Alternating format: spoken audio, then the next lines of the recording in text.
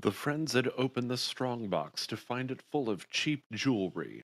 Atop the pile, a telltale earring, different from the rest in that it wasn't covered in rust nor other such signs of wear. Tess interrogated Drea Blackstrand, the owner of the box, but determined that she was unjustly accused. Finding themselves after a stale lead, the party retired to the bar for the evening. Misku gambled away the evening in an arm wrestling contest with Kildrak as the others discussed what would happen next in their ongoing hunt for the thief on board. Welcome back to New Dalancia, our Dungeons and Dragons 5th edition campaign. I'm your host and most gracious DM, VGpunx. I almost said Commander VGpunx again. I keep doing that. It's force of habit. Either way, we're going to go ahead and get started. Whoops, that is not the right map. Let me just go ahead and. ah, there we go. Probably also on that. Everybody should be loading in.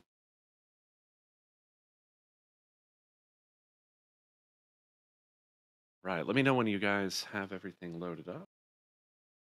Looks like you guys are.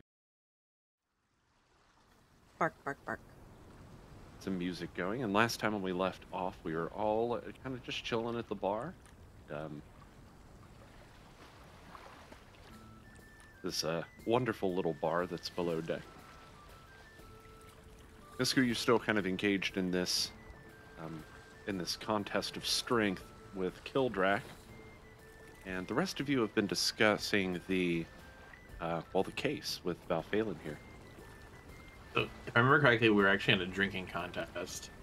Was it a drinking contest? I th- yeah, I think this is a rematch. I have it. I have um, in my notes that y'all were, y'all had, like, you were drinking and then you started an arm wrestling competition. Oh, okay.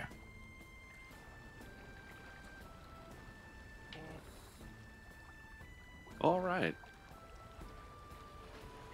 Well, either way. I mean, I, I, I guess it could kind of go either way, whatever you'd like. All right. So, the um, I know it's been a couple weeks, and uh, you guys had just, you know, figured out that, uh, uh, well, that it seems that Drea Blackstrand had been set up the entire time.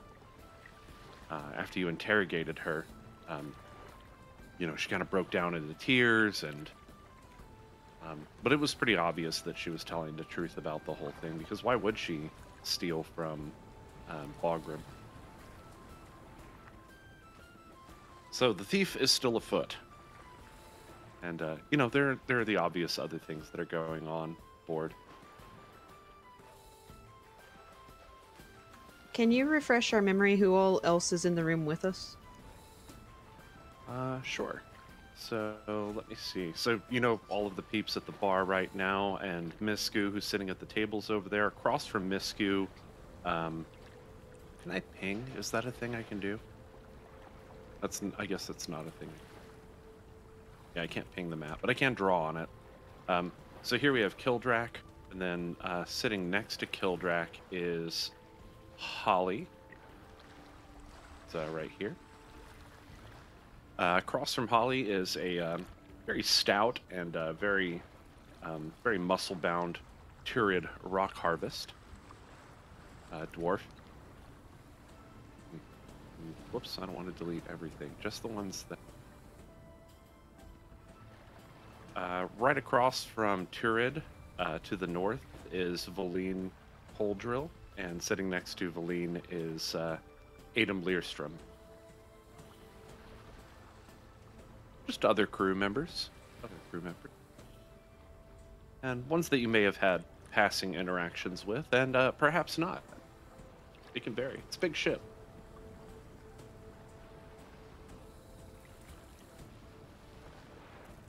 All good? Any questions about anybody? Are they are they're all just drinking and talking? Sure, except for Ad- Adam. Adam seems to kind of to themselves. Um, they've uh, they've always struck you as being kind of a spacey person. always kind of staring at the floor or um, just zoned out?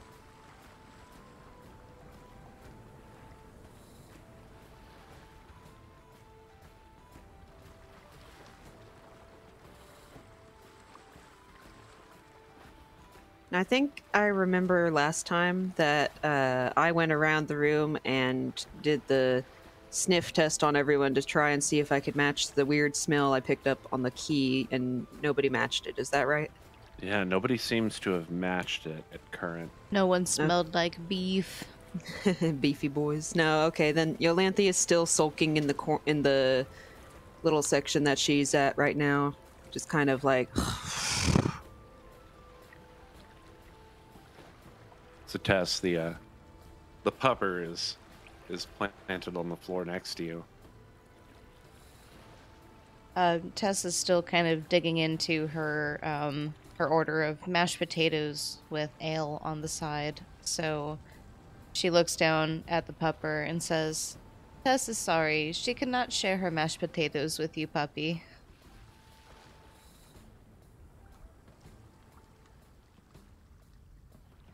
And then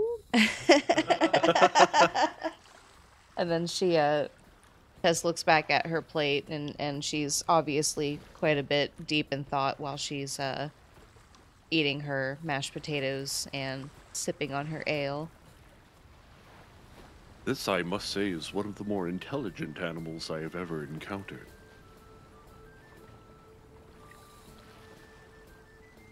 Val looks over at you, Iolanthe, questioningly. And strange that it seems to have the same eye setup as the cat that we were suspicious of.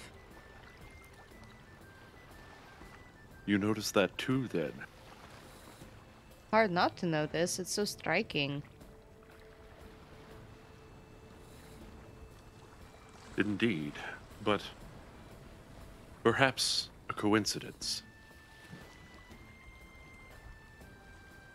You notice that as Val kind of turns back to the bar to, um, well, to tend, he kind of keeps an eye on you, Iolanthe, kind of side eyeing you. Tess is gonna turn around and see how the competition um, between Misku and this uh, this one dude is going. How's that going over there across the room?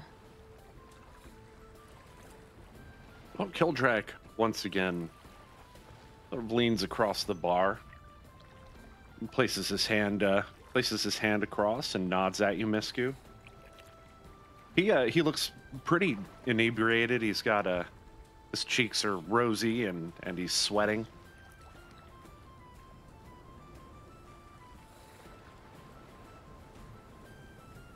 And he says, um, "I'm sure you want to lose some of that money so you don't have to carry all of that around." Misku, without saying anything, just puts her, uh, holds her shoulder, begins rotating it to stretch, makes some big circles, and just slams her elbow on the table and looks him straight in the eyes, just nodding at him. Turid sitting next to you claps her hands. She's obviously enjoying herself. Big wide smile across her face. Ooh. Contest of strength.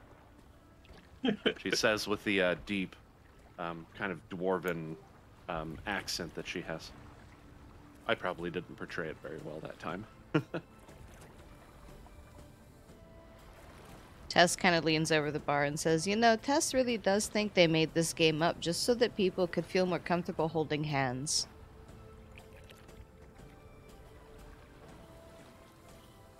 I never thought about it that way. Go, Misku! Woo! And she kind of swings her, her ale around, just completely abandoning that thought. Are you going to go ahead and engage with them? Yeah. All right, go ahead and roll a strength check.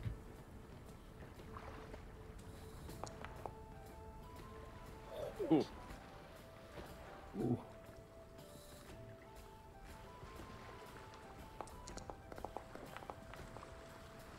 Hmm. Well, So it's a very, very close competition. The two of you are are, are locked into this arm wrestling competition, and you, um, you, you the, everything kind of stays evenly matched for a very long time until finally you start to gain an edge on it. you start to press his arm closer and closer to the table, and you see the sweat just beating on his forehead. We'll do another strength check. It'll be the uh, the best of three. Go ahead and roll.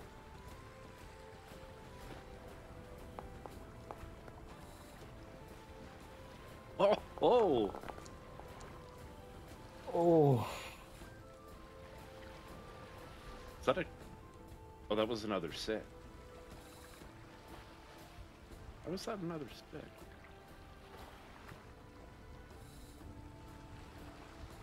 Yeah. Okay. Oh, I think the the one was a four and the other was a one.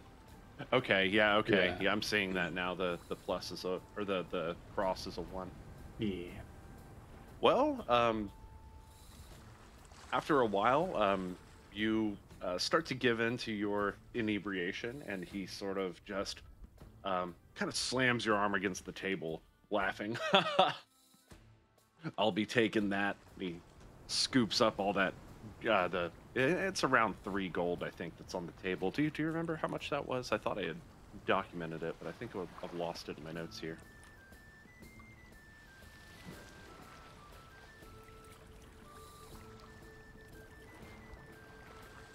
I think it was three gold. Yeah, it was three gold.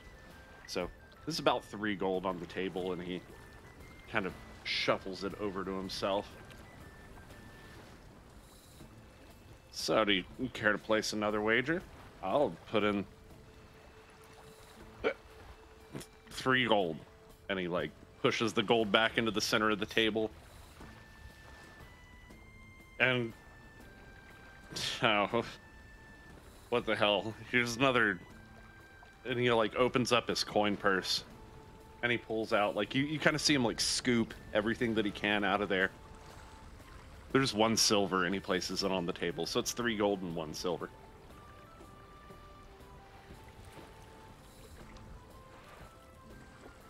Um.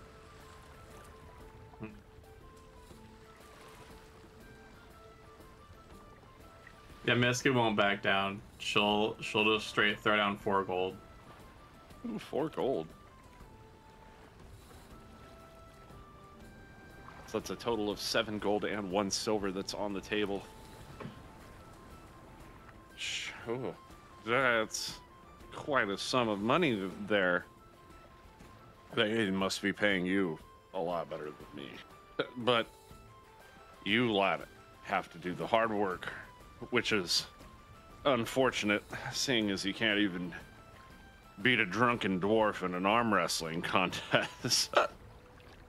Misku's just straight ignoring what he's saying while he's talking. She's already slammed her elbow down on the table and is sitting there with her hand like shaking, ready to go. he like he he does the monster hunter thing where he like whirls his arm around three times and then slams it on the table. Go ahead and roll another strength check.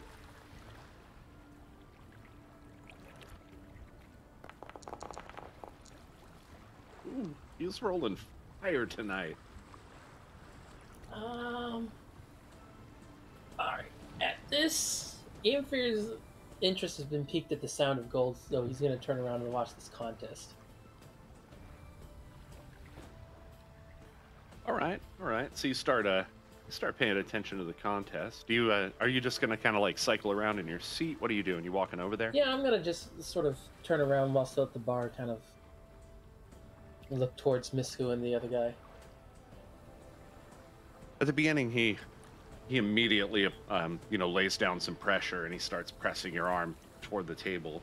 Um, it's kind of hard to keep up with in your uh, in your in your state after having as many drinks as, as you've had. Go ahead and roll another strength check. You said this is the best out of three.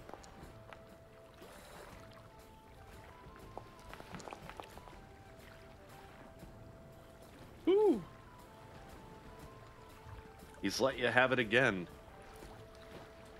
Once again, he slams your arm against the table and he goes and scoops all of that gold and up toward him. If I uh, keep this up, I'll be rich. Oh. Ah. I, th- I think I could use some rest.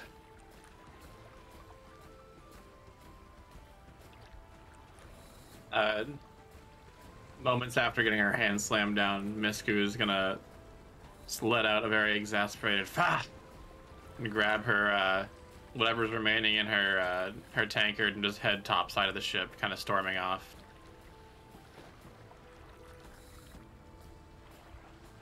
Kildrak actually follows uh, kind of closely behind you. Uh, he kind of keeps his distance, though.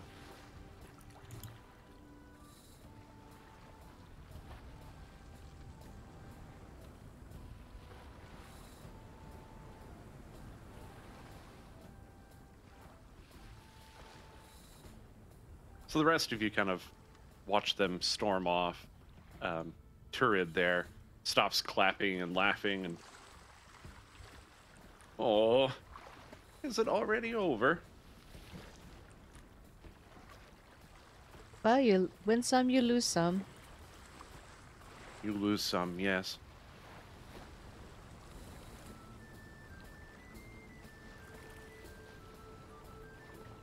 Always been pretty obvious to you that she doesn't speak very good common. Yeah. Very doused in her, uh, um, with her accent.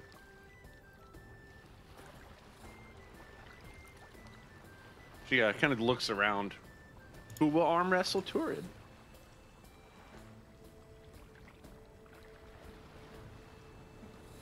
Oh, Tess will sit this one out.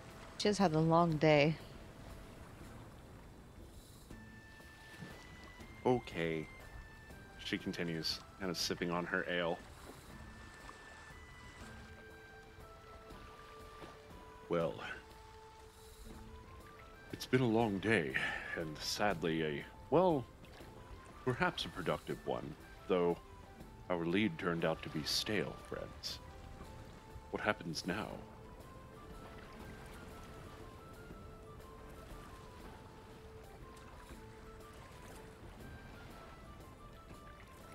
Well, Tess has offered to sleep in uh, Gus's room for the night. Tess suspects that maybe somebody who likes Gus and does not like Drea because of how close they are. Roll a perception check, please.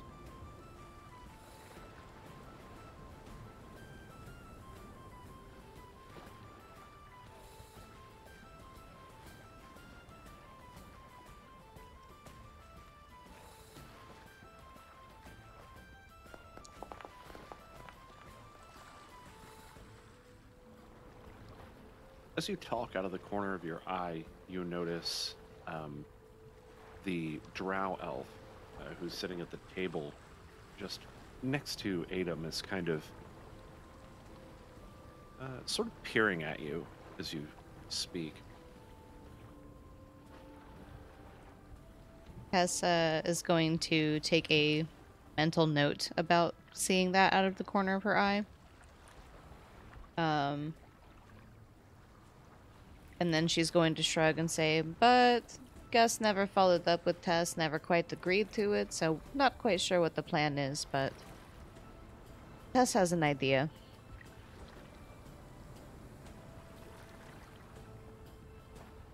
Indeed.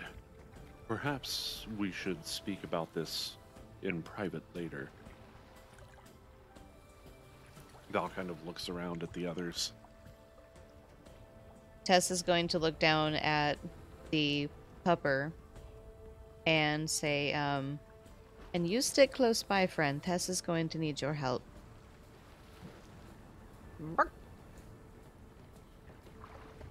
It is almost as if the dog understands what you're saying. Very strange. Is there anything on these potatoes that would be dangerous for a dog? Hmm. I know I've read a book or two about this. Or, let's see.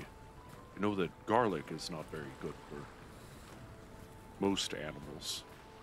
But uh, I didn't use any garlic. This is just potato and butter. I think we're okay. Okay, you can have the rest if you want, my friend. And Tess is gonna put the plate with the rest of the mashed potatoes down to see if Iolanthe wants it. Iolanthe kind of tilts her head and sniffs at the plate, and then takes a big bite and like looks up at Tess with a little like mashed potato mustache. It's odd to you because normally, you know, you would know what this food would smell like, but really, this is the first time that you've been in. in uh, well, this is the first, I, I should say, experience that you've had uh, being in an animal form for this long among other humanoids uh, and having to devour humanoid food. It's almost as though you don't smell the potato at all, and you only can smell that animal fat that's uh, in the butter.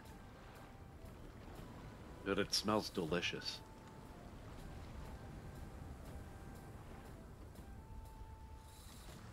Iolanthe keeps chowing down on the potatoes, and then she uh, stands up, like puts her paws up on the on the bar, and like barks at Val for a second. Oh, she might want more. Are you still hungry? She pokes her nose over at at Tess's. Um, like you had a tankard or something, right? Like a glass. yeah, I had ale. And she pokes her nose at it and then looks over at Val and wags her tail. You wait. I don't believe that it is okay to give a dog alcohol. Wait, how are you asking me for this? Tess has never had a dog before. I mean, I've seen some uh, people who probably could do with not having some of these drinks, and at least in so far as I've seen, this animal seems to be pretty competent.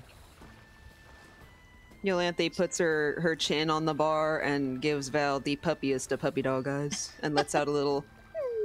Roll of persuasion, right? Roll of persuasion.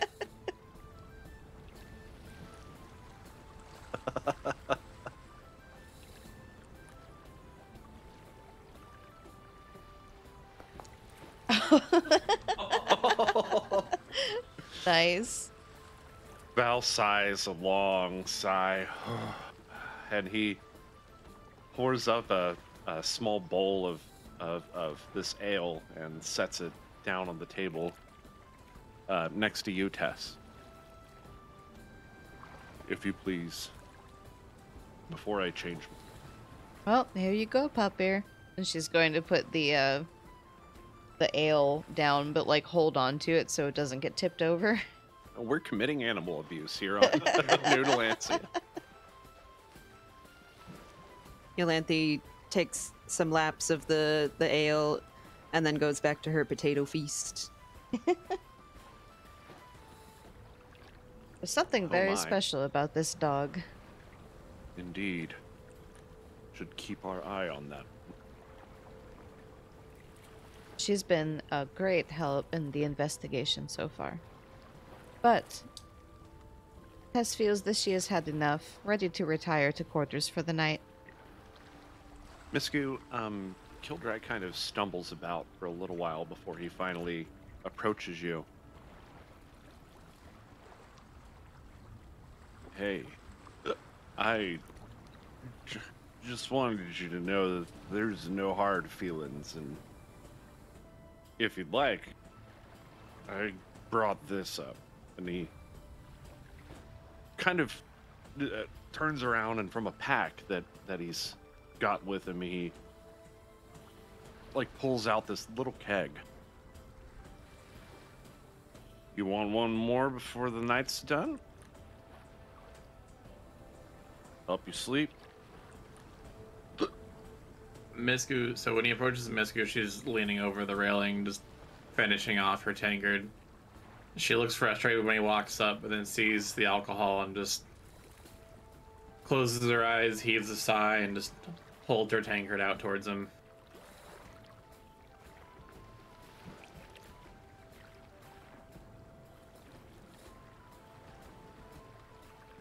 Excellent. She uh Uh, I mean, he uh,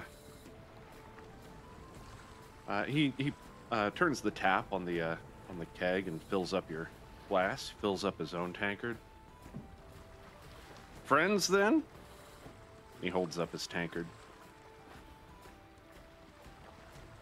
Misku uh, gives him a smirk, raises her glass, and says, "Rivals more like it." Rivals, then. That's fine with me.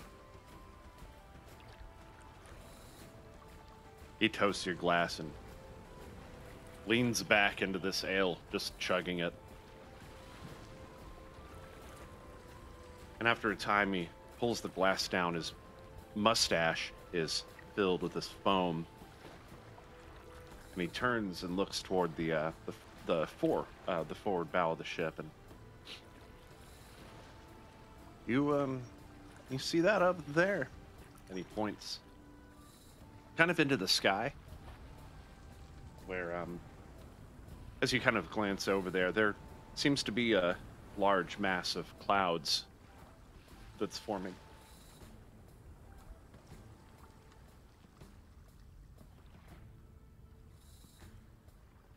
Looks like it might be a rough sleep tonight after all, but still, the ale should help him. Misku uh, just downs her ale, and looks up at the sky and towards the, the clouds, and just Yeah, shrugs. Looks like a pretty big storm system brewing. And you're headed right for it.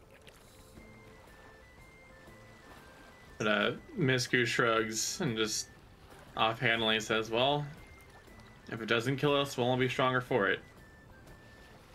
I wonder if the captain knows. Ah, I'm sure the captain knows. The captain knows everything aboard this ship. That's what the captain does.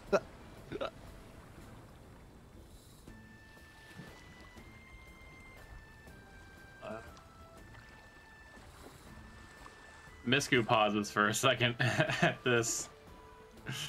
Um, maybe it's best we actually let the captain know about this one. Sure, if you think so, friend. I think I don't know.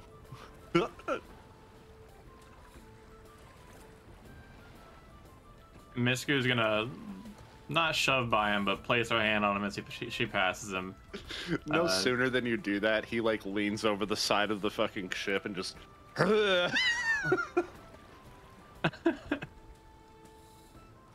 No, don't worry about me, friend. I'll be just fine.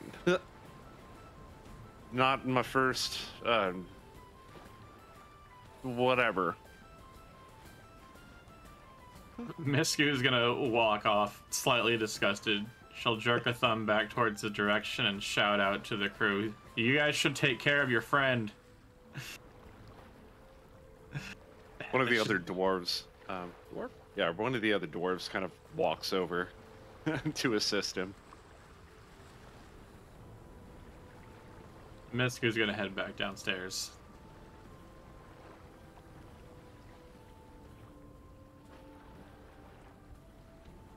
Misku, you're back. How are you feeling?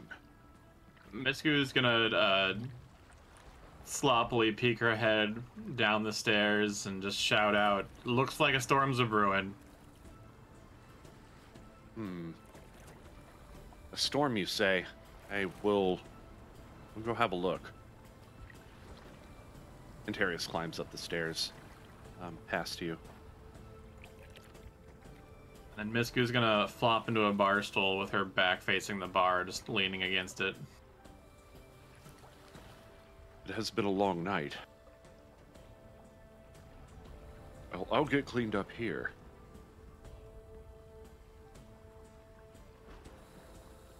In the meantime, Tess, we should speak more of the uh, the case a little later, perhaps in the morning.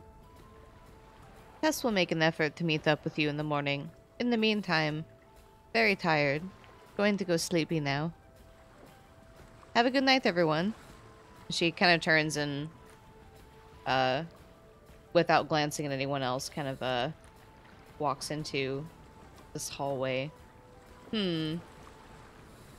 You know, Tessa's never actually slept in the room here before. Have to go find some place. Good night, everyone. Turid also tired. She also proceeds up the stairs behind you, Tess. She makes eye contact with you as, um, as she kind of passes you and, and cracks a wide smile.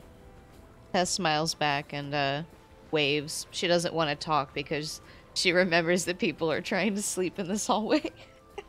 You're a smart one. She kind of, sort of half under her breath, but it still carries pretty far. Tess nods her head and thanks.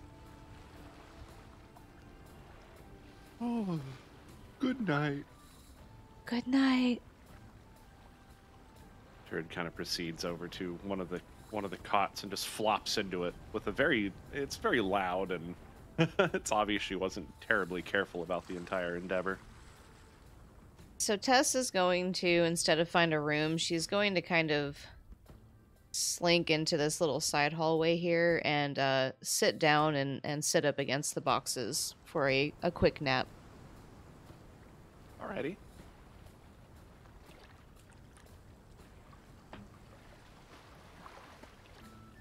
I should also let you all know that if you had if you had taken a specific room previous, I, I kind of tried to put down some journal notes um, in each um, in each of the quarters to let you know who has reserved those quarters. So Ianfyr, you have the quarters on the top level of the ship, uh, underneath the aft, uh, underneath the aft castle. Um, if you switch to your journal view, you should see a journal there um, that marks which one is your quarters. Same thing with Cyrene. Uh, for those of you who haven't taken quarters yet, you're always free to claim quarters on the ship. There should be enough for everybody.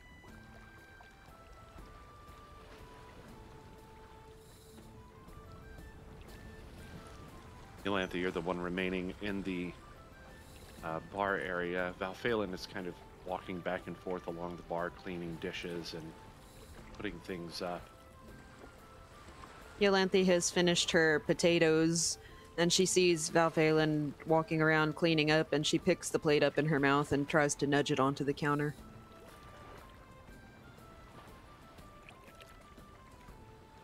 Val sort of leans over and and grabs it.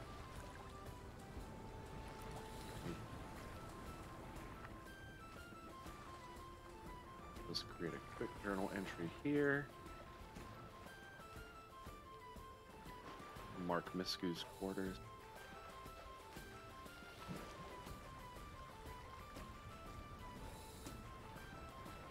Okay, you should now see the journal entry there for that.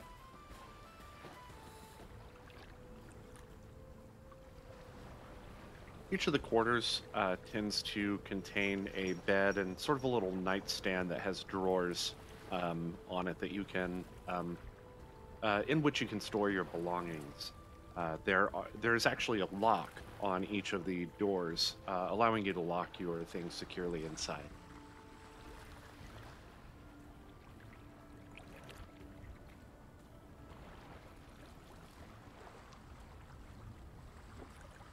Now, Thalen, uh, after having finished up all the dishes, starts to polish down the bar with a towel. He pauses for a moment to stretch and yawn a very deep yawn.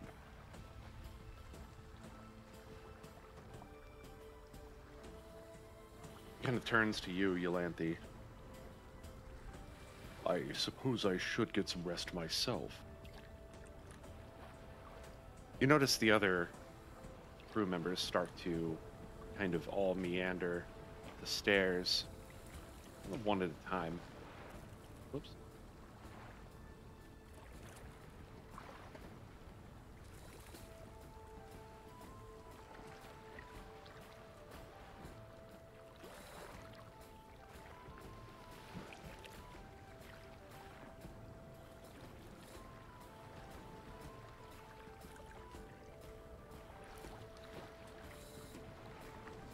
After a time, Val hops over the bar. He gives you a couple pats on the head, Iolanthe, and well, good night, doggo. Mark. and proceeds back to his own quarters. Whoops. Sorry about that.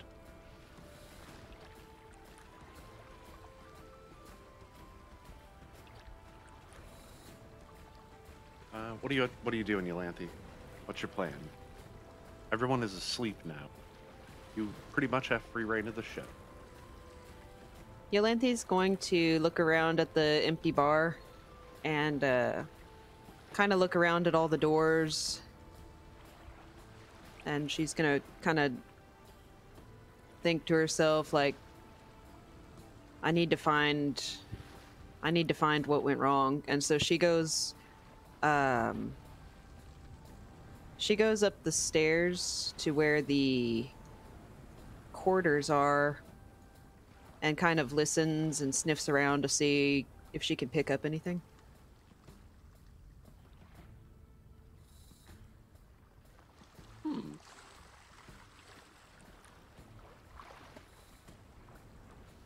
Go ahead and roll a perception check. And since this will be uh, having to do with uh, the your sense of smell, you can go ahead and roll it with advantage.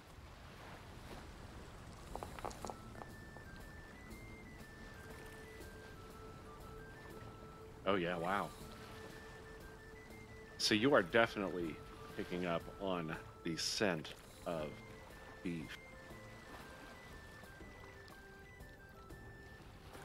It seems to be leading from the north. What is it? The scent of beef. Beef. She Yep. tilt her ears perk up and she starts to follow the scent. Hmm, cold. Seems Cold? like it's coming from the room there on the right. Yeah, that one. Closer you get to the door, the stronger the scent starts to become. Okay. Is the door locked or is it able to be opened or nudged open? Uh, it seems to be shut. You're going to need to pull the latch on the door in order to, uh, open it up. But doing so may alert some of the people around you who are currently sleeping. They'll have to be nice and quiet about it. I have to roll a stealth. Um, instead of a stealth check, let's just call it a dexterity check. Since dexterity also kind of has to do with stealth as well. Gotcha.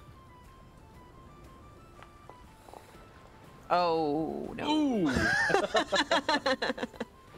you uh, you kind of jump up to the uh, toward that door, uh, uh, sort of the door latch, and it is not quiet at all. As soon as you pull this thing, it goes ka-chunk, and the door like kind of swings open. You see several of the um, several of the sailors behind you uh, awaken and, and look directly at you.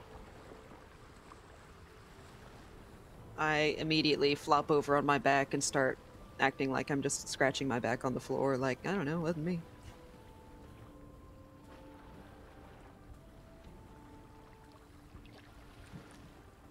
The door the door is open, however. You notice that there is a um, well, Bagram, uh, who you can see just through the door, sees the door open, squints his eyes, and goes, Ugh, "Close the." And, ugh." And he like turns over in his bed, and he like grumbles the entire time. Iolanthe ducks in real quick and tries to, like, scooch the door closed with her foot.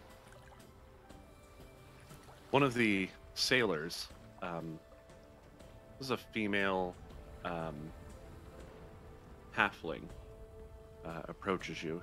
Uh, she's actually just a little bit taller than you are. Oh. Let's see.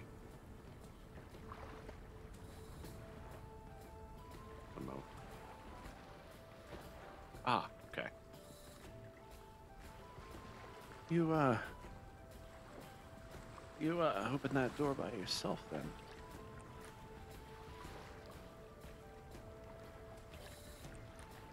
You are a smart one, aren't you?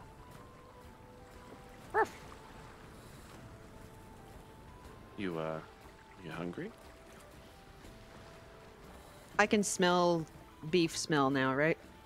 It just kind of permeates this room. Doesn't seem to come from anywhere in specific. Okay, well, it's making my mouth water, and, and Iolanthe's tail starts wagging furiously. She kind of looks around really quick. I'm sure we can find something around here for you to eat. She starts to kind of rifle through, um, like one of the other beds, and she produces uh, this little sack. Turns around and gives you a little handful of these um, these little strips. They seem to be some kind of meat.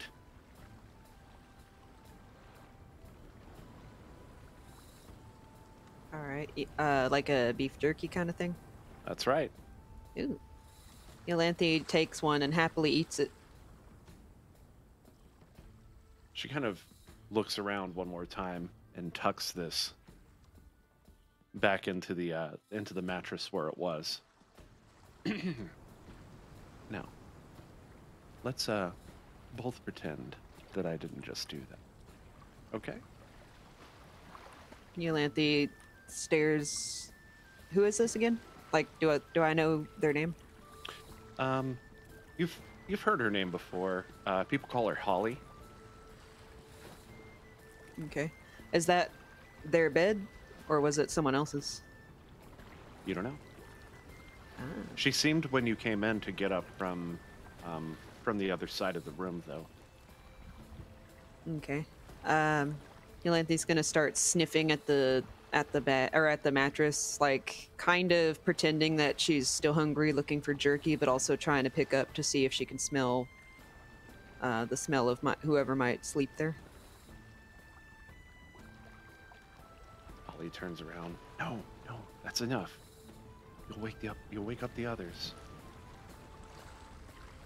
Now, be a good doggy and move along, okay?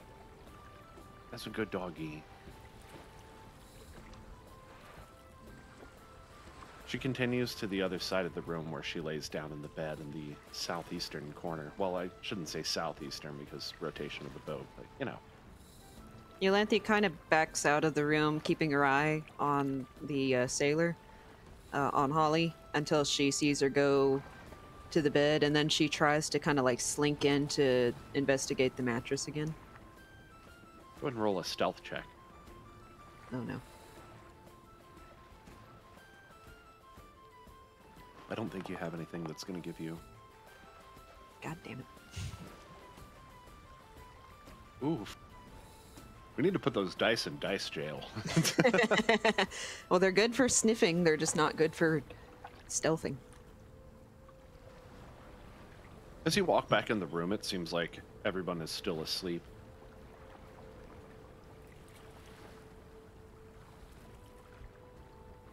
Okay. Um. She just kind of keeps creeping forward to see if she can get a sniff of the mattress. Go ahead and roll another perception check with advantage.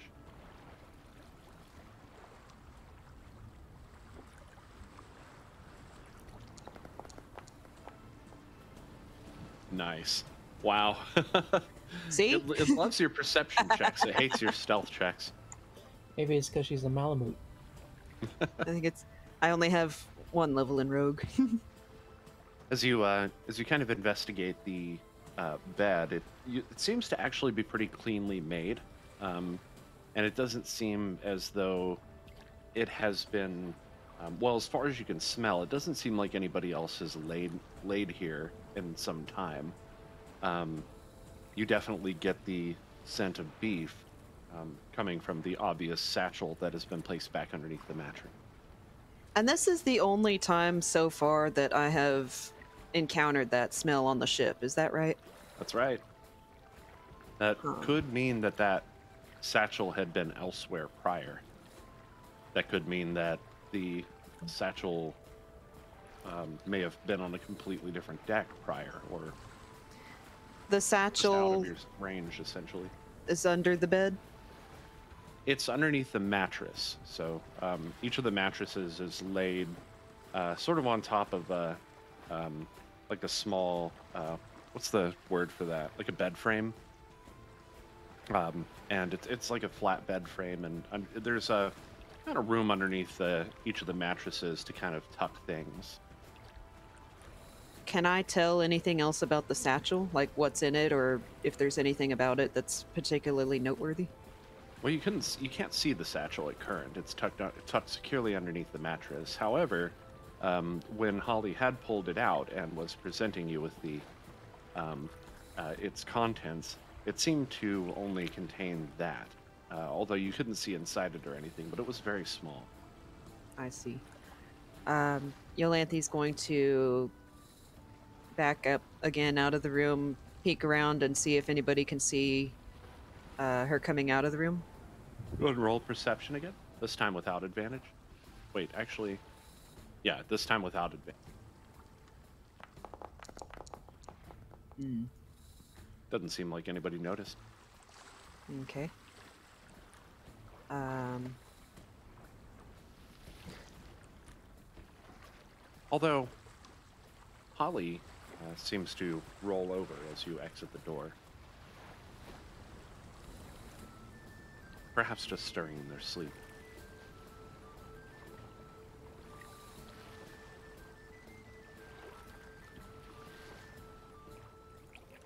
Iolanthe's going to kind of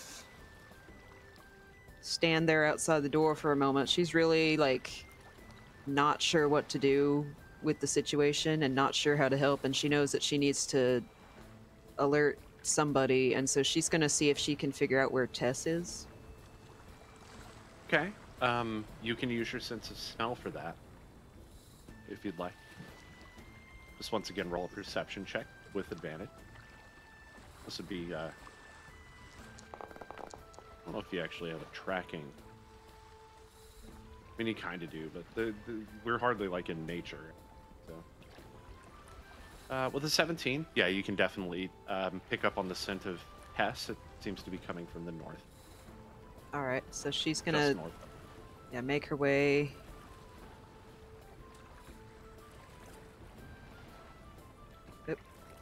No, no, not in the map room. Seems to be in the hallway here. Oh, oh. Actually, as soon as you, Yeah, uh, as dark. soon as you, are you're kind of like sniffing along the ground, um, and uh, let's see. uh, After, um, once you kind of start to investigate this corner, uh, Tess, you feel a wet nose just boop, right up against your face. Tess uh, kind of startles awake, and she's like, "Huh? Oh, hi, puppy." Hey, you hear the.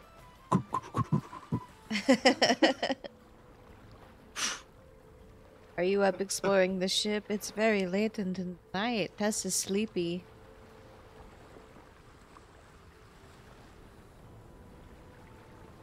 Iolanthe kind of pokes at her, uh, but she realizes that Tess can't understand her, and so she's not really sure how to convey the message. And she's not really even entirely sure um, what the message even is, because she actually doesn't have all the information. She just has what she thinks might be a clue. So she just kind of stands there and wags and, like, then just kind of walks off. See. Try to get some sleep, little puppy. I know it's been very high anxiety lately, lately, but we will figure this out. After a good night's rest. Tess is gonna pull her, her cloak around herself and, and pull her hood up and kind of curl up against the boxes to try and sleep.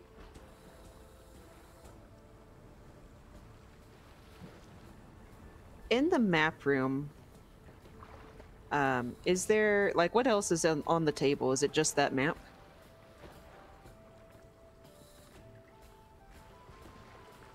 Yes, it, uh, there's a map and there. some, uh, there's probably a set of cartographer's tools laid out.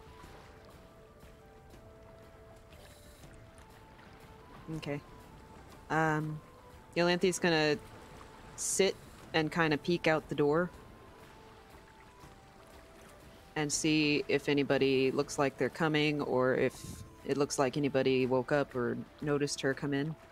Go ahead and roll a perception check, please.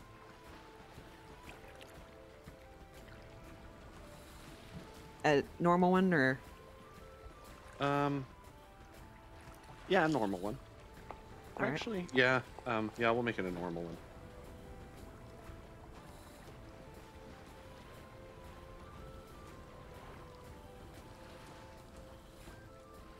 Woo! All right.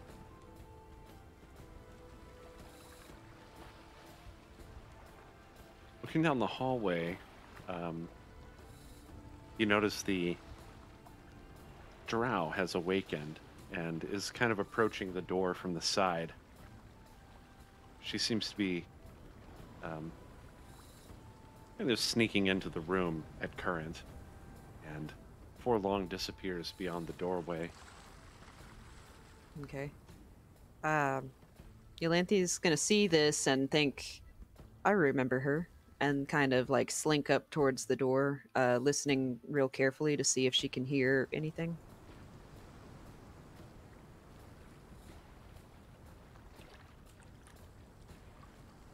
She's not gonna go in the room though. She's just kind of listening at the door. Go ahead and roll another perception check with advantage. It's a keen hearing.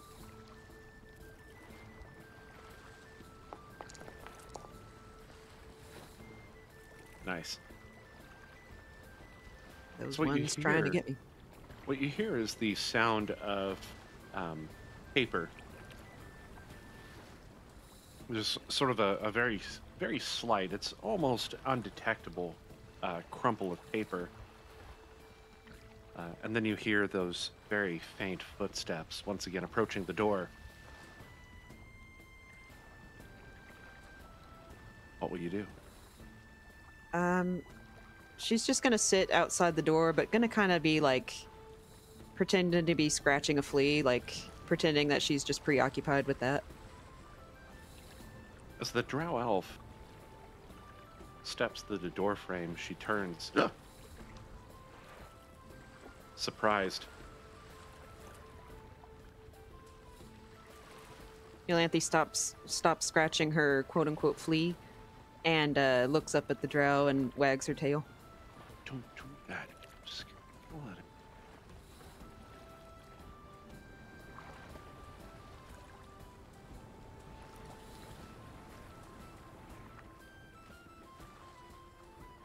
Well.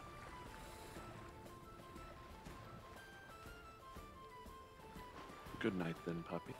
She sort of side eyes you as she meanders past you and goes back to her bunk. She uh, closes the door behind her as well. Dang it.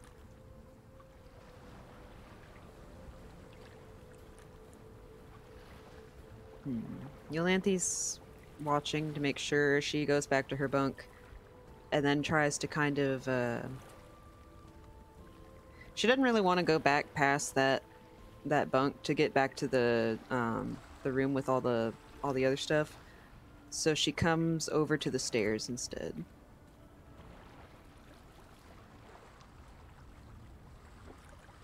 Hmm, Okay.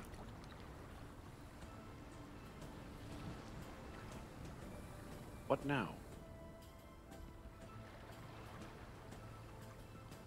Yeah, I should probably still be we're no longer at the tavern. A little inappropriate there.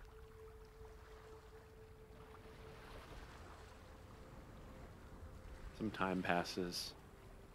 Everyone seems to be sleeping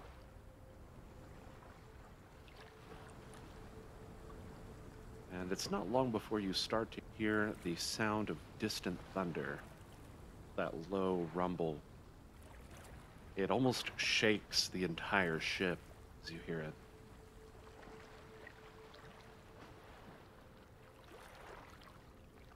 Reapproaching the bar,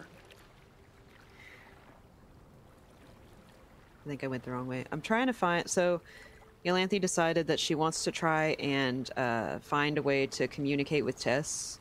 And she figures to do that, she needs to find some paper, some kind of ink or pen or something. And uh, find a, a quiet place that's very secluded so she can um, write out a message to Tess. The thought does also cross your mind that you could reveal yourself to Tess. Good. It does.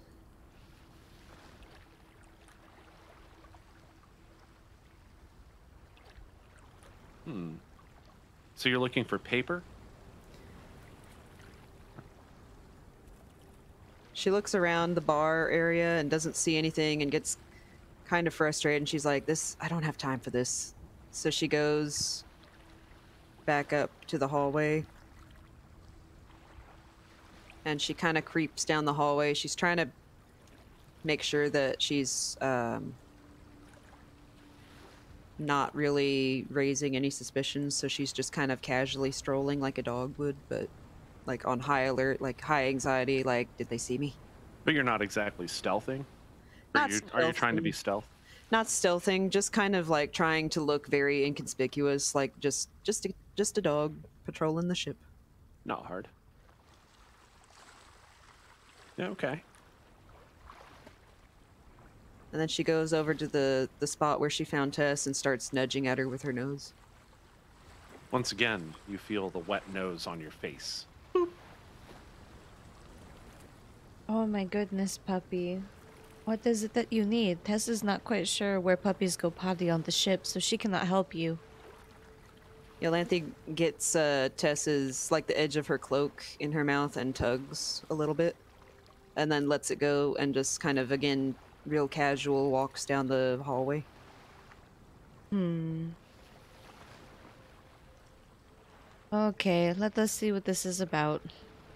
Tess is gonna sleepily get up and quietly try to walk down the hallway. And roll a stealth check.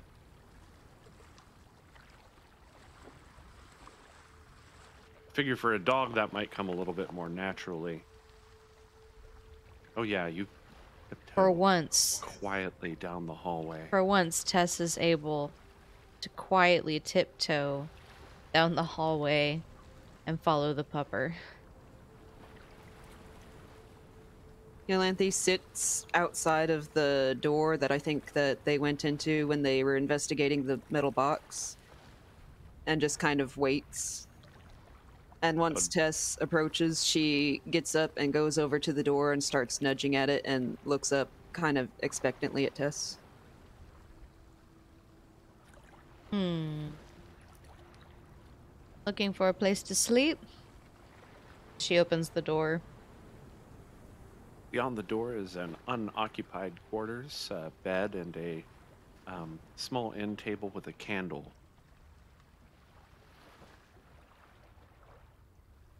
Iolanthe nudges Tess to go inside and then follows in. Shame on whomever left the candle lit without even staying in this room.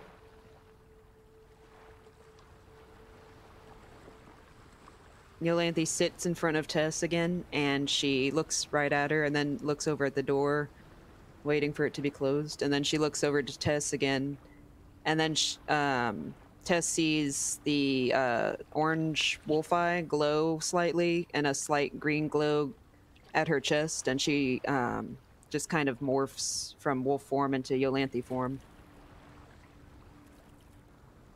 What the? Listen very carefully. Something real weird's going on on this ship. Tess is dreaming. Iolanthe? Shh. We have to be very quiet. There's a lot of people that are doing some really weird things, and I don't understand what's going on, and I need your help. Who who is doing what outside of stealing and leaving secret admirer notes? I don't know. I, I thought I had figured it out with that, that lockbox, but that just made things worse, and now I, I'm not sure what to do. Tess is kind of staring dumbfoundedly, like she's still trying to process the fact that this animal was Iolanthe. Iolanthe is like totally oblivious to that. Sh she's like just going on and on like first there was the note. I thought the note was important but it just turned out to be some love letter. And then there was the key and it smelled like meat but i couldn't find the smell. And then i found the smell but it's still just meat. I just i don't understand. And she's like pacing slightly as she's talking. And then she's looking at tess like do you do you understand what i mean The uh, the meat, the the key, yes, but what do you mean by it's still meat? Where where did you find the meat? Oh, right. Um, I forget. Sometimes the rest of you can't. Never mind. Anyway, when we when we found the key, and you had me sniff it when I was still a dog, it smelled like beef. You know, like the the the stuff they make out of um, cows. Yes, Tess is familiar. Yeah. Well, I've never smelled that on this ship. There's always, you know, there's been fish, there's been the the the and she she's like snapping her fingers trying to remember like common tongue words for like basic things. And she's like, The potatoes and vegetables, yes. "Yeah, yeah, yeah, yeah." So, I didn't smell that and I couldn't find it, but then I I found it, but it's just beef. Where is it? It's in that room with uh with Bogram and and Holly, the the sailor. She gave me some of it and it was really good, but it doesn't make any sense. Why does a key, a key smell like beef? Hmm. That kind of narrows down the list of possible suspects. Tess never considered looking into Holly. Ooh. But Tess is also very sleepy. Oh, right. I I forgot. You you probably actually sleep, huh? Every now and then when Tess can. As long as the Oh. voice stops talking. The the voice? Anyway. So Holly, for for a moment Tess was thinking it was the drow that seems to be having s- strong feelings for Santigus. That that's another thing. I saw her again. She went into that room again. She snuck in there and I thought I heard paper, but I couldn't get a look. She she closed the door and she didn't want me to to go in there. Hmm. Both of you go ahead and roll a perception check.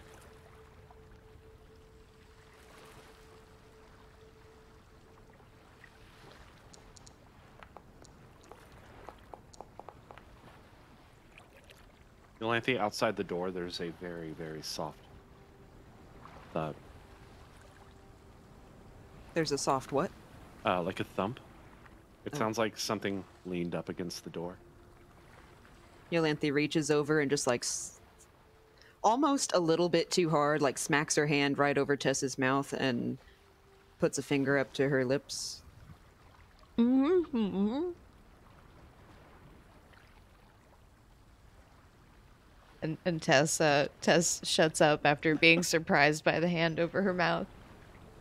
Iolanthe points at the doorway and then like puts a hand cupped over to her ear.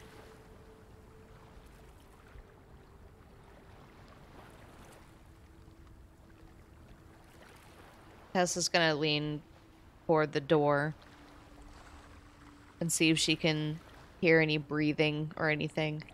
Or see if there are any shadows coming from underneath the door suggest someone standing outside. You're gonna look underneath the door. I'm not gonna like bend over to look underneath the door, but take a look at the lighting coming in underneath the door and see if there's like a shadow disruption. Roll a perception check.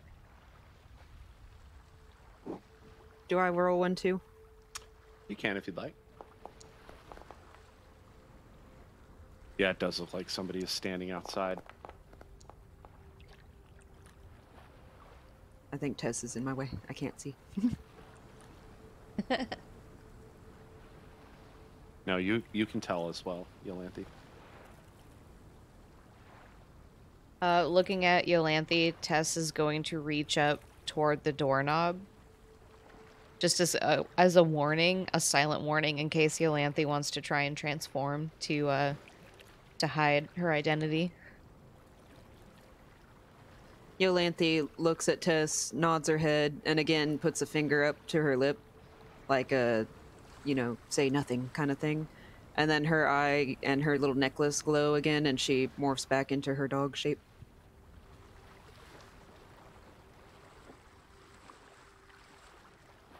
Oh, that didn't work. Hold up. There are two Iolanthes. It looked like it bounced out of my my token and then bounced back in. There you go. You're back in wolf form. Well, you're back in dog form now. and uh, as quickly as she can, Tess is going to stand up and then open the door. Behind the door is a very shocked looking drow.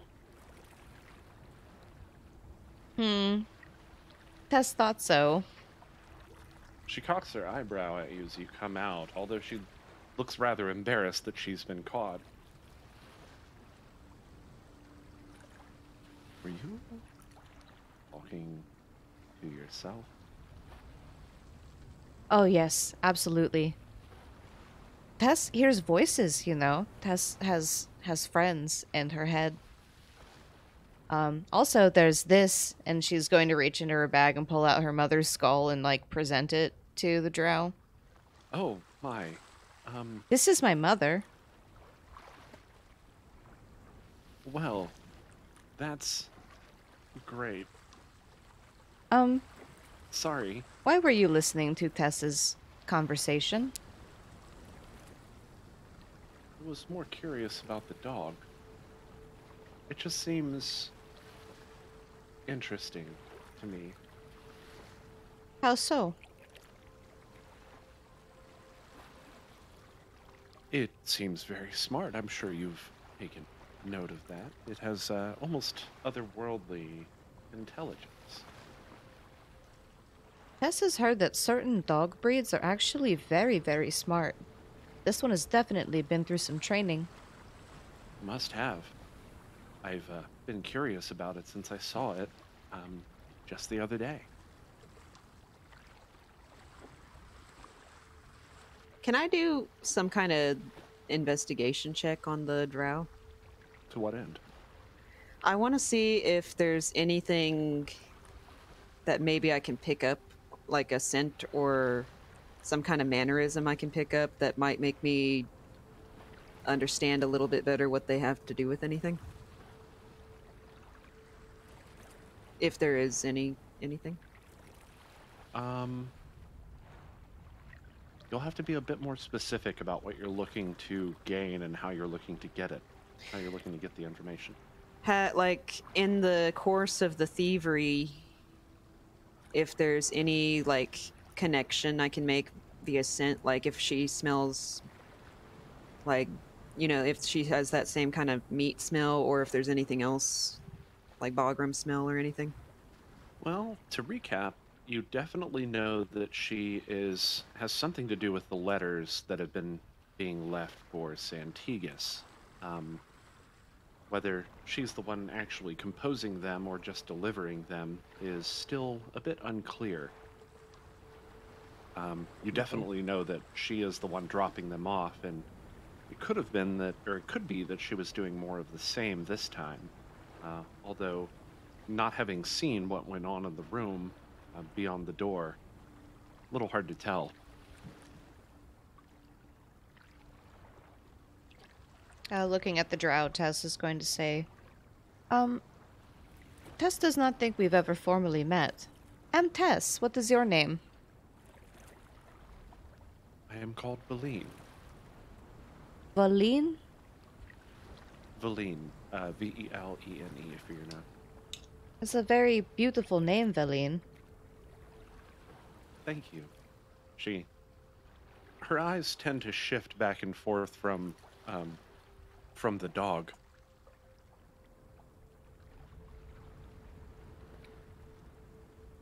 That is a very interesting eye that you have. Why don't you come out here and let me get a closer look? She kind of bends down, pats her knees. Iolanthe kind of like pulls her ears back a little bit but she slinks out of the room and comes over Yes. say that these eyes have almost a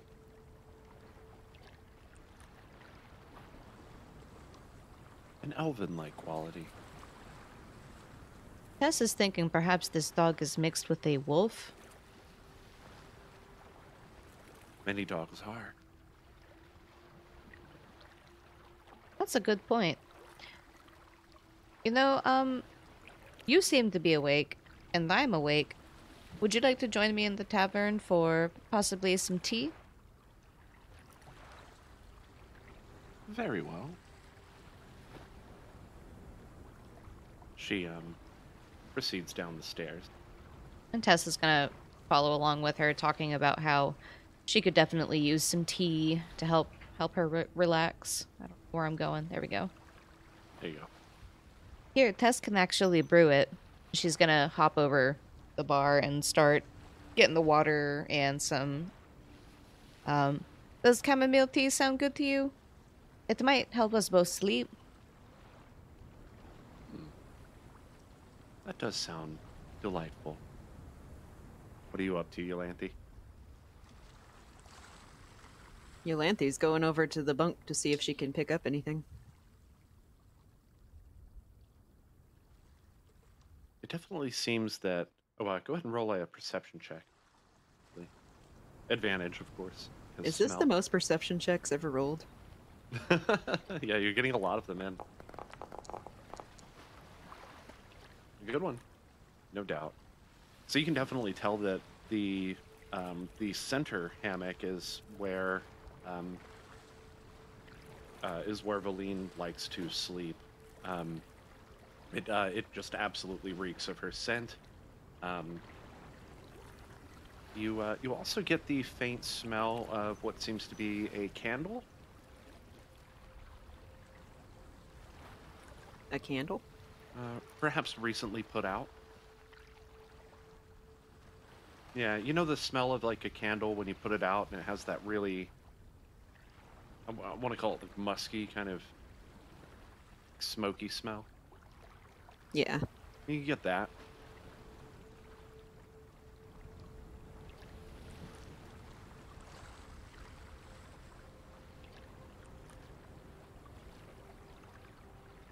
And that's it. That's it. In her head, Iolanthe is just like, can't everything just line up? And then she decides to go down to the tavern to keep an eye on Tess. Hmm. This is very interesting. As you come in, Tess is brewing brewing some tea, and Velene has set up the bar. She yawns. I have not stayed up this late in some time, although I don't require much sleep. Forgive me for asking, but Tess's never really met Adriel up close before. Do your people just not need a lot of sleep? Oh no, no. Most of us uh, just require a few hours of meditation. Oh, that's fascinating. As with anything, it doesn't go without go for all of my kind. The vast majority. Tess is not sure about other tiefling, but Tess likes to sleep in very short bursts, as opposed to long resting. Multiple naps throughout the day can definitely help. Yeah, I've heard about you and your party. Adventurers, right?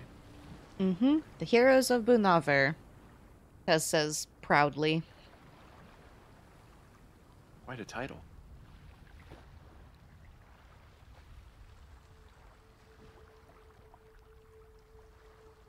Think that you lot are probably the most interesting on the on board. Definitely more so than more so than some of the others. But Te- Tess is definitely interested in the rest of the crew. All sorts of interesting things happening here. We've got love letters. We've got thievery. We've got lots of bullying. Bagram is so mean to that Adam character. Ogrim is nasty sort. Have you known Bagram for a long time? No, I only met him for this work. Ah, I see. So not longtime friends. And Tess is going to, uh, you know, at this point, I'm sure the water is warmed up quite a bit, so she's gonna pour the hot water into, um, the the tea infuser. Mmm, smells delicious. Here, have a have a smell. She leans over and sniffs the concoction. Ah, you brew a good tea. Tess loves to drink tea at night. And then she's going to um, hop over the bar to sit down next to Velene and wait for the tea to brew and steep. Velene says, Is this your first time aboard a ship? It is, actually. Tess has never ridden the waters like this before. You could tell by the way you were a few days ago when we all came on board. It feels weird. It feels like the the ground is constantly shifting under my feet. It was hard to get used to. Oh, you get used to it after a time. There's a lot of money to be made out here. How long have you been sailing on the seas? On various merchant ships for some years. Um, I'm gonna say probably.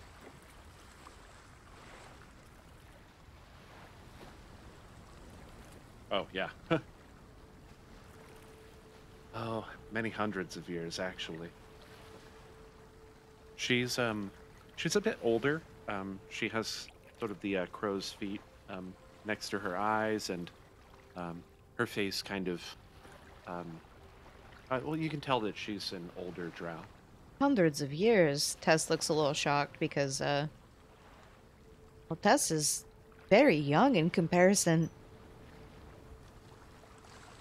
She, um, her eyebrows sort of furl um, for just a moment, and her, her nostrils widen, but then she. Indeed, I have been around for many, many years. I've seen the evolution of ships like this. Never one so grand as the one that we're on now.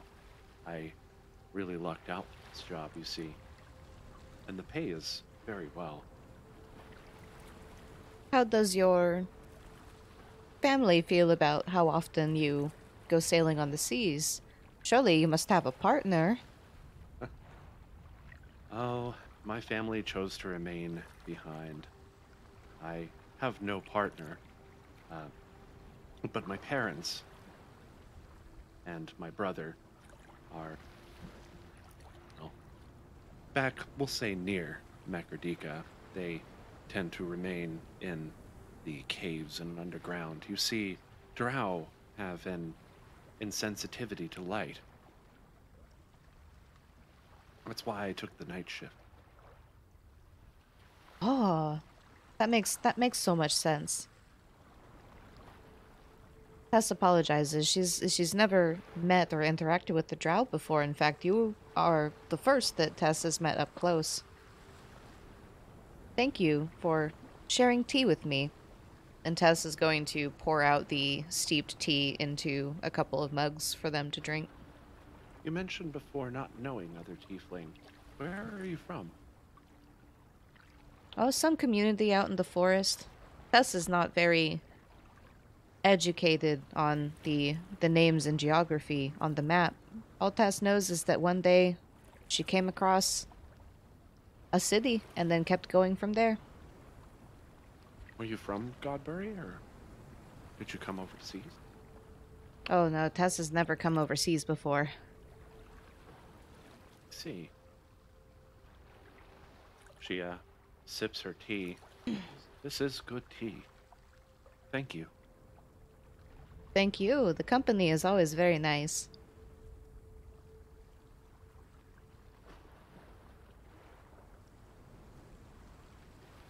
The two of you kind of while away the wee hours of the night until finally the tea is gone and Velene, standing from her station at the bar. Well, I could do with those few hours of peaceful, quiet meditation. It has been entertaining. It has been nice. And Tess stands up, and then she says, Oh, and Velene, Yes, if there's anything that you can share with Tess about this whole thievery and leather situation, please do let me know. Tess would be very appreciative. if I do see anything, you'll be the first to know. Tess appreciates you. She continues up the stairs.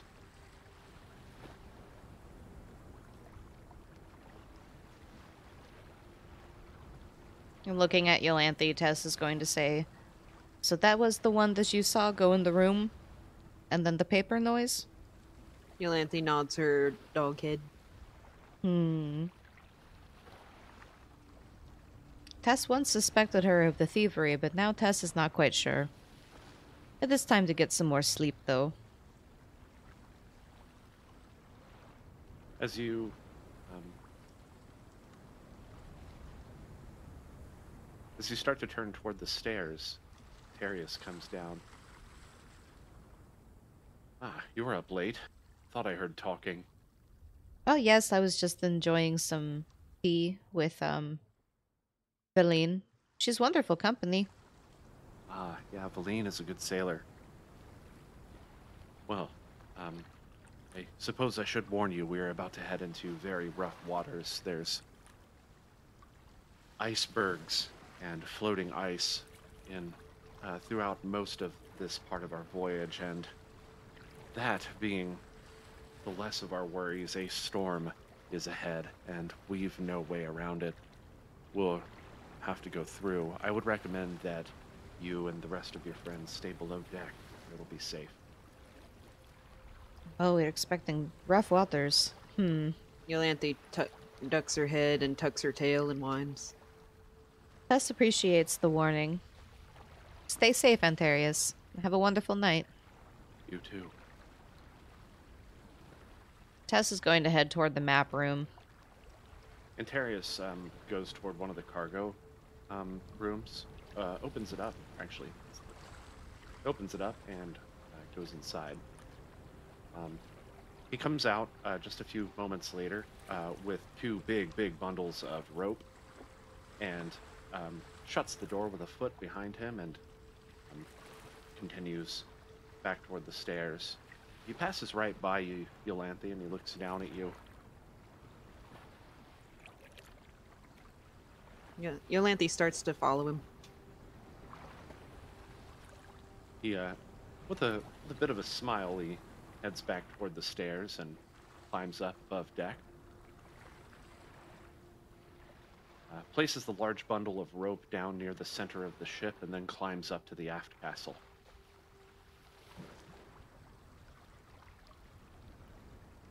Iolanthe pauses to sniff at the rope and then keeps following.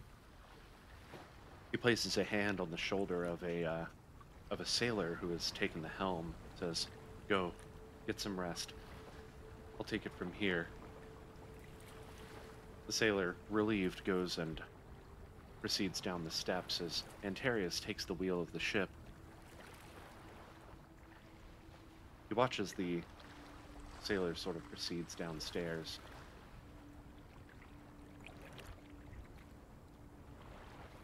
Iolanthe flops down on the floor beside Anterius and just kind of looks up at him. He, uh, his face, um, his face remains very um, stoic as he stares into the distance um, ahead of the ship. Often you catch the the hint that he may be nervous about something, possibly the oncoming storm. It's not very long until the. See if I can. This happen here.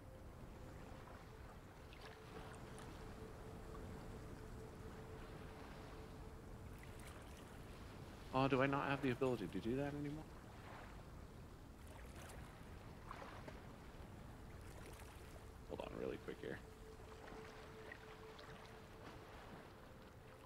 thought I had a way to do that.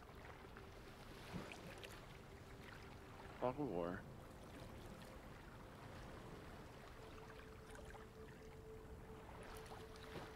Wait, hold on. I think I know how to do it. Aha! So before long, the clouds sort of um, gather overhead as the ship heads into the rain. Oop, that should not have happened. Should be night. Perfect. Rain starts to fall and pat against the ship, lightly at first, but it starts to pick up for a while. The ship starts to rock back and forth, um, increasingly more, um, more prevalently, and uh, the sailors down below start to scramble uh, toward their stations. Your fur is wet now, as is pretty much everything else.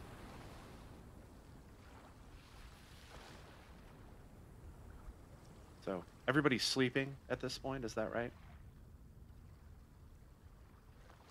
Tess isn't sleeping yet. She's just heading toward the uh, the map room. Then she's going to go into the trapdoor. Make sure the mirror's okay, mainly, with the turbulence. Misku's been sitting up in bed smoking the whole time. Misku, you start to hear the sounds of thunder and, and rain beating down on the top of the ship. You can tell just by that that it is starting starting to storm pretty violently outside.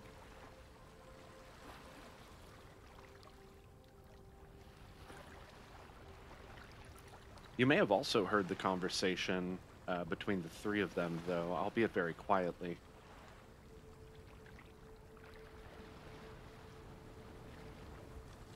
So you probably know at some point that somebody, Hassan, someone else went into another room nearby.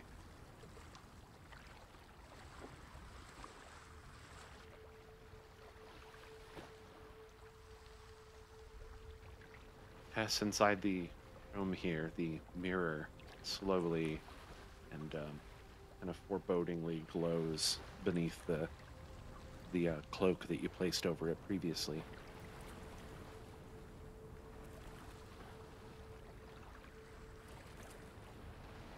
Has kind of a she talks to herself and the mirror and, and says, um, "I'll make sure that you're protected. Do not worry." The night passes, and the morning comes. Misku, you eventually find yourself sleeping. Everybody go ahead and put in for a long rest.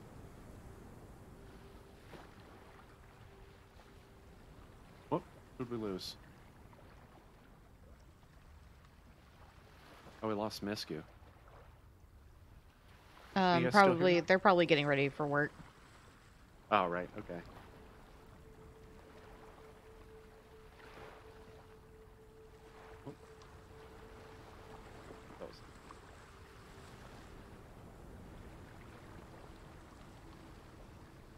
Okay. Morning comes. Um, the um, you probably get a full view of this, Iolanthe, but the uh, sun starts to crack over the horizon, um, just below the clouds, but the rain continues to just pour down. Although it is dawn, it's still very dark. Yolant- Iolanthe whines a little bit. And Harry is still at the helm, looking very tired.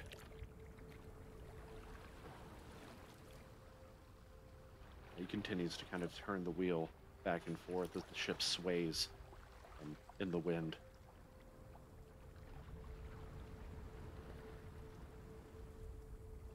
Before long, Val'faelen um, appears at at the stairs here. Captain, Yes, yes.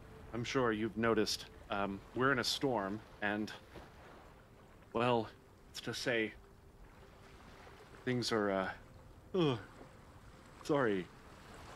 I could use you at the helm, frankly. Indeed. Well, lucky for me, this is not my first time. Val'faelen takes the helm, and Anterius places a hand on his shoulder in passing. Thanks. I'll be in my quarters if you need me. Just ring the bell. Yes, sir. Anterius proceeds down below deck, cracks open the door to his quarters, and sees inside.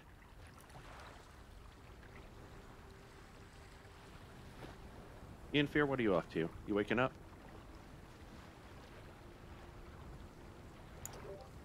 Probably. As you awaken, you hear the sound of the rain outside, um, kind of showering the uh, the deck and the aft castle above you. You've uh, definitely gotten the footsteps of Val'faelen walking up the stairs and, and just overhead. Hmm.